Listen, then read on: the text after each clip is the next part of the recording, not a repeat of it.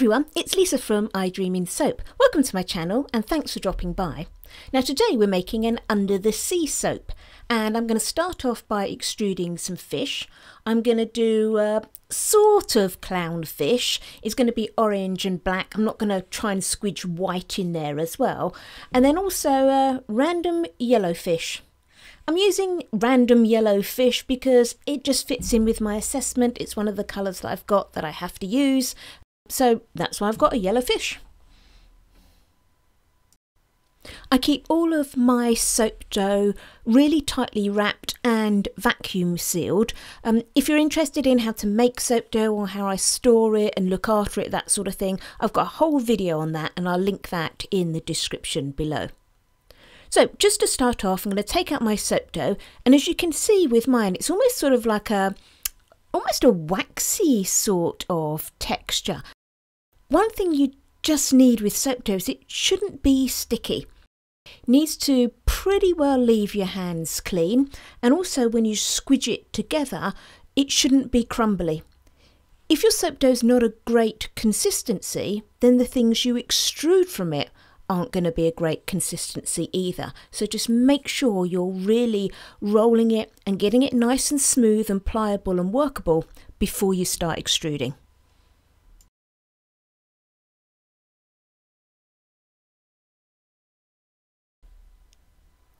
So I'll extrude my yellow fish first of all and just remember when you're extruding some soap dough to try and keep it as straight as you possibly can and that may mean sort of tweaking it and bending it as it comes out of the extruder. Remember you want to straighten it as soon as possible because if you leave it out and it starts to set up at all, if you try and bend it at that point, it's likely to crack and break. Um, give you all sorts of dents and things in your extrusion.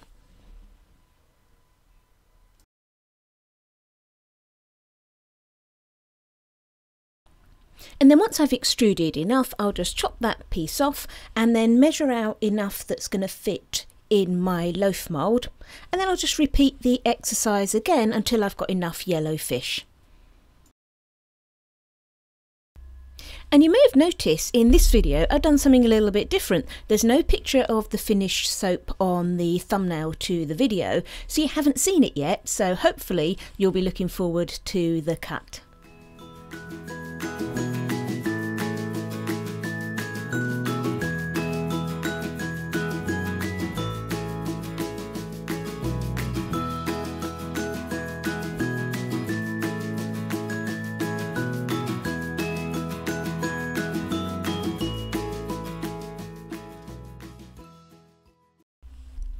Okay, so on to the clownfish now. So I've just popped some orange soap dough into my extruder and I've taken the one fish, two fish extruders that I sell in the shop and I've just sort of chopped the clownfish up into little pieces.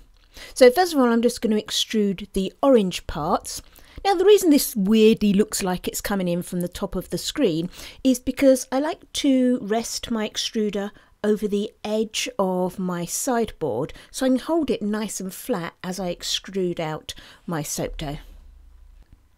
And this can be especially useful if you've got a disc where there's several parts being extruded at the same time because it stops them getting all tangled up and muddled.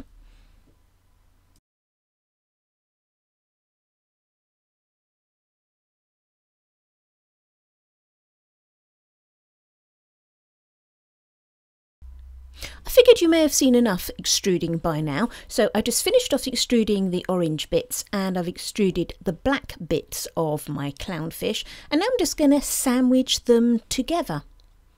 So I'm just dissecting my clownfish and then I'm just going to layer black, orange, black, orange. And to join them together, I am just going to lightly paint each of the sections with distilled water. Now, if you're trying to get soap to stick, water is what you want to use. I would always use distilled water to stop any chance of getting any um, DOS, dreaded orange spots or anything from anything slightly dirty. So nice clean distilled water is the best way to go. Water is always good for making soap stick. Think about when you have maybe a soap that you've used in the shower or something. If you've left it wet and you put it on another bit of soap, it sticks rock hard, doesn't it? Or, you know, if you leave it just on the side, it really sticks really well. So, water is your best bet. Rubbing alcohol is the sort of thing that you use with melt and pour soap, and rubbing alcohol with soap dough really is to stop soap sticking. So, for example, if you want to keep your tools clean so you can cut through some soap dough, then that's when you want to use rubbing alcohol.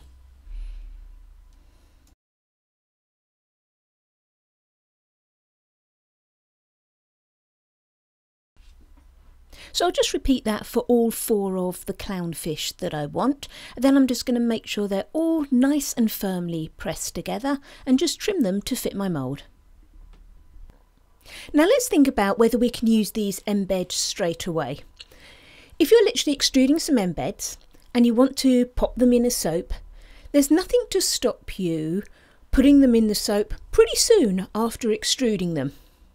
And to be honest, if you can do that fairly quickly, that's great because you've got a moist bit of soap dough that's going to adhere beautifully to your loaf of soap. But let's imagine I wanted to take my little clownfish and chop it up into slices so it could be embeds on the top of the soap. In that case, you would want to let it sit and set up for a few hours, a good few hours, even potentially until, you know, the next morning or something. Because if you tried to cut it into little slices now, it would just squish and deform. So that's one situation when you should leave them to sit out. What I'm doing here now is another reason why you should let them sit. Anytime you've tried to combine some bits of soap dough together, so here with my little soap dough sandwiches I've got, I've combined them and stuck them with some water. At this point, they're pretty slippery, and if you keep mucking around with them and moving them, they will break apart. And also, if you popped them in your soap now, the movement of the soap may actually make them come apart. So, this is another situation where you do want to let them sit not to make them go firm, but just to make them stick together. So again, if you can leave them for a few hours or overnight, then that will just make sure that these are going to be really stuck and not come apart.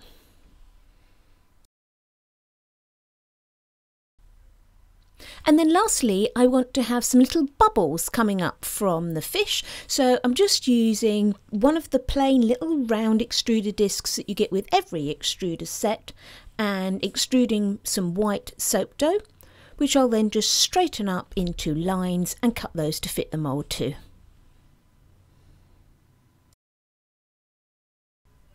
Okay, so let's get on with pouring our base. And I'm going to be using neon orange, some shimmer blue, and neon yellow.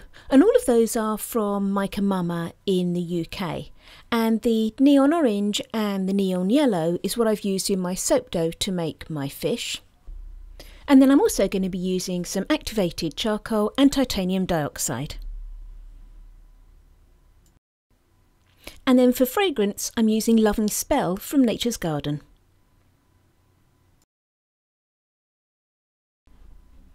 So to start my pour, my first layer I want to be the sea bed. So I want to have a browny type of colour. I don't want it solid, so I'm going to mix it in with a little bit of black so we haven't just got one solid colour. So here I'm just mixing up the amount of soap that I need to make that base layer. So I've just got my melted oils and my lye. And I'll just blend those to bring them to emulsion.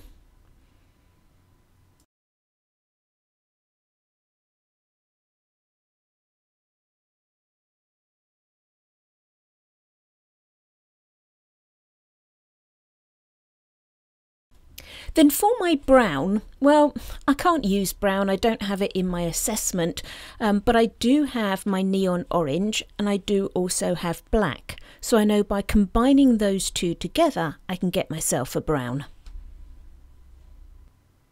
So I'm just adding a little bit of activated charcoal at a time until I get to the brown colour that I want. And I'm just keeping a track of what I'm using. I'm just putting in one quarter of a teaspoon at a time. So I know how much I've used, so I know how much I've got to use in the rest of my soap as well. Now, obviously, if you don't have to stick to strict assessments like we do in the UK with exactly how much of everything we have to put in our soaps, you can be a bit freer with this process. And hey, you could actually use a brown mica if you wanted, save all this mucking around. Now, the only reason I'm explaining things like that is because if you're new to my channel, you might wonder what the dickens I'm doing and why I'm not just using a brown mica rather than sort of what may seem unnecessarily mixing colours. So once I'm happy with my colour, I'm going to add my fragrance oil. Now, Loving Spell from Nature's Garden doesn't accelerate, so that's great. I've got a little while to play with it.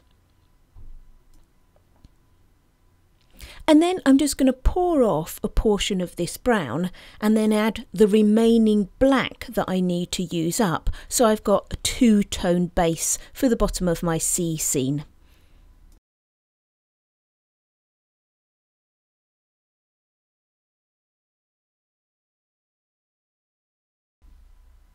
So I'm just going to do a simple in the pot swirl for the base of my soap. So just taking that darker brown and pouring it into the lighter brown and just making sure with an in the pot swirl that you lift your pot up and down so that the colour that you're adding sinks all the way through the soap batter. Otherwise you can end up with just big blobs of one colour or the other.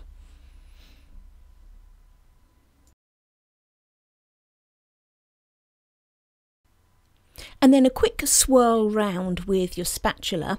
Now here I'm actually mixing mine a reasonable amount because I do want my two colours quite well mixed. If you're doing an in the pot swirl and you wanted some nice pretty swirls in your soap then you would probably just do one tiny little stir with your spatula.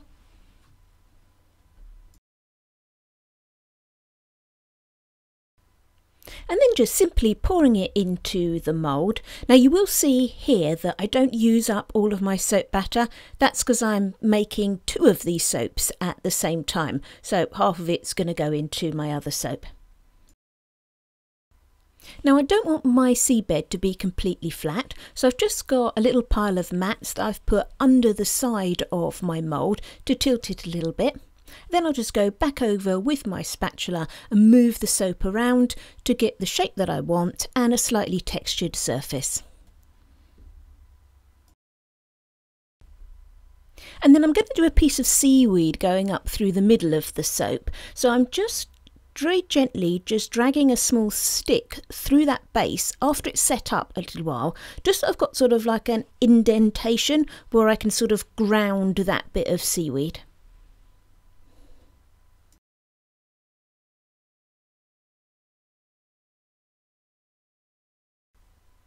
So onto the main pour. So I've made up enough soap batter for my two loaves that I'm making. And I want to have obviously blue for my sea colour and I want to have some green for my seaweed colour. So I'm just mixing my blue mica into my soap batter that I've made up.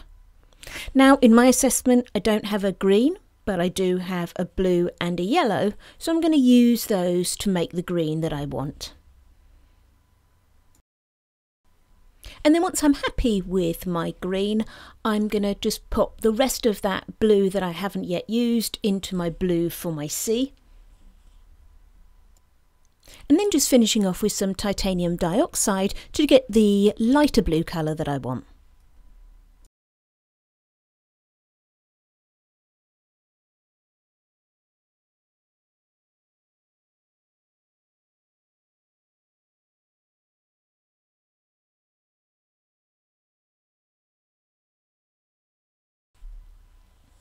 Okay, so our colours are now done. Just need to add our fragrance oil and then we can start our pour.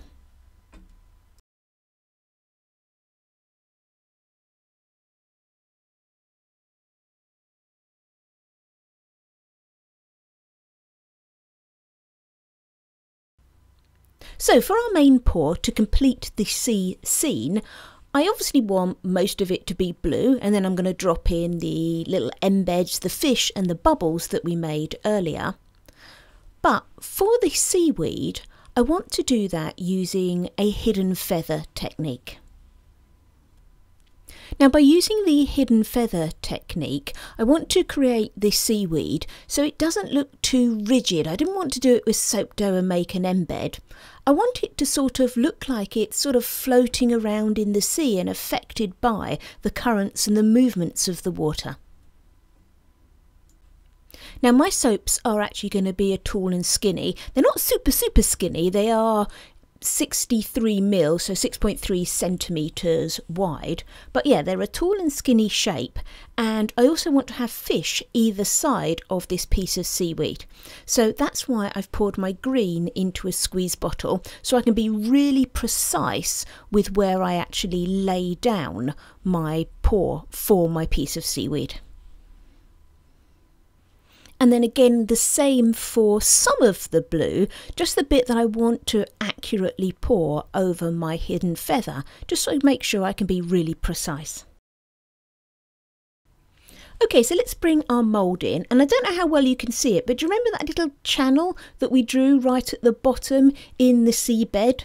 Well, I'm first of all going to go in and fill that with some green soap so that it looks like the base of the seaweed is actually attached to the bottom of the seabed.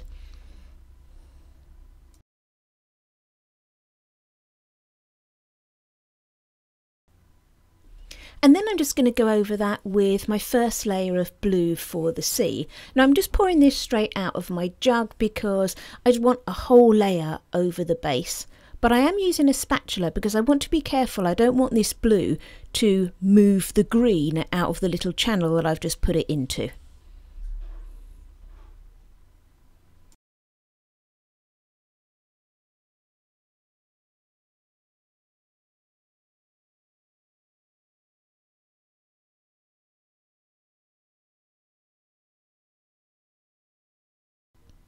And then I'm just going to work my way up the mould. So using my squeeze bottle to very deliberately put the green for the seaweed where I want it to go. So I'll do a layer of the green. And then I'll go over that again with the squeeze bottle so I can be very, very careful because I don't want to displace my seaweed. And I'll gradually and gently go over it with a layer of the blue.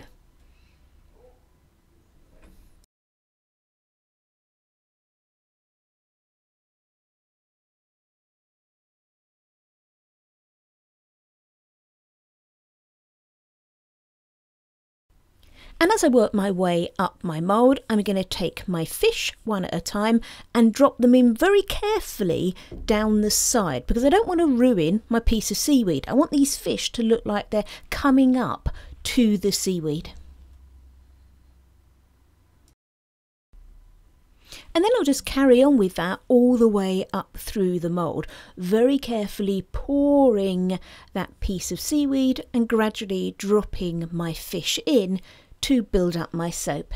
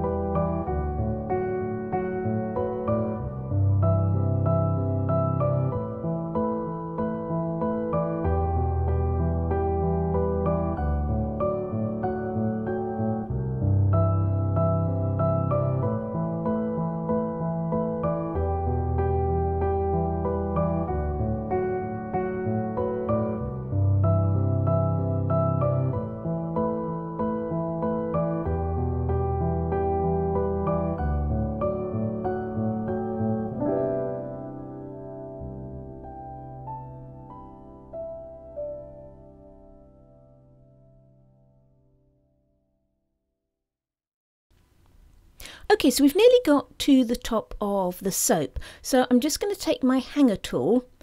It literally is just a piece of wire and I've wrapped some cling wrap around it and I'm just gently pushing it down through the centre or where I've done that hidden feather swirl.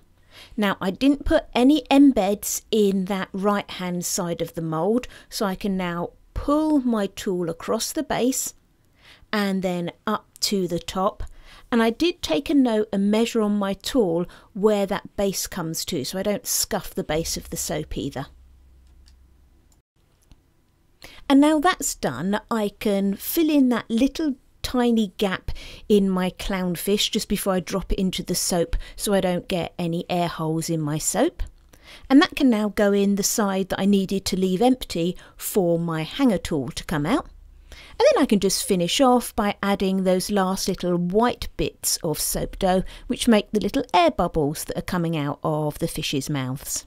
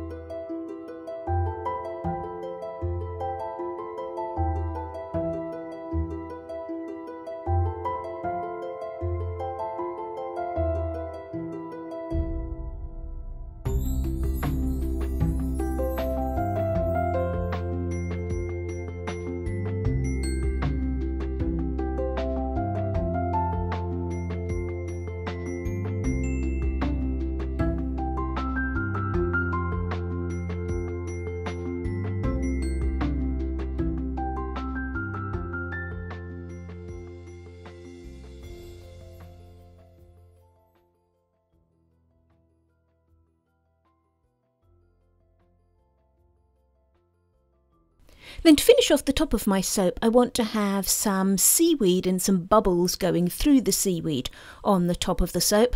I don't want to pipe it or make it out of soap dough or anything, so I'm just going to use my squeeze bottle to draw the picture of the seaweed on the top and then just drop on some little white bits of soap to put some bubbles going through the seaweed.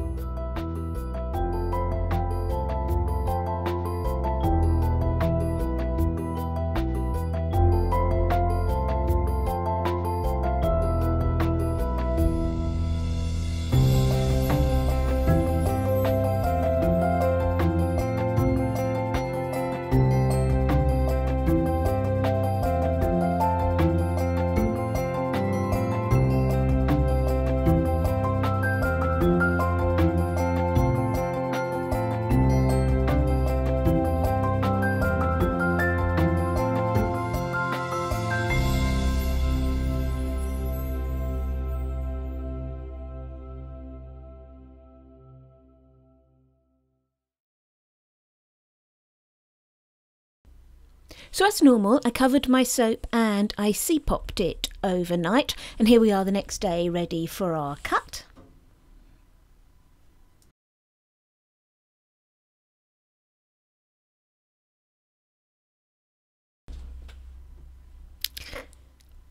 And here are little under the sea soaps. Oh, I'm really pleased with those. I really like the way that that secret feather has given some movement to the seaweed. It's not a precise sort of solid piece of seaweed. To me, it does actually look like the sea is causing it to sort of flow around. And I like my little fish and my little fish bubbles.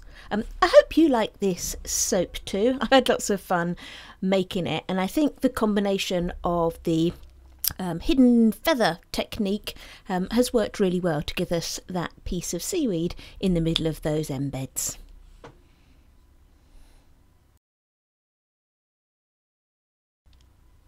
And here are some pictures of the final soaps. These soaps will be for sale in the March the 6th shop update. I'll leave a link to the shop in the description below. I hope you've enjoyed this video and that you like the soap.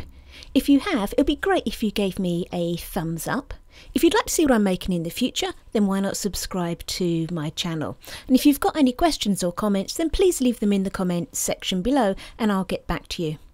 Thanks for watching everyone. Happy soaping!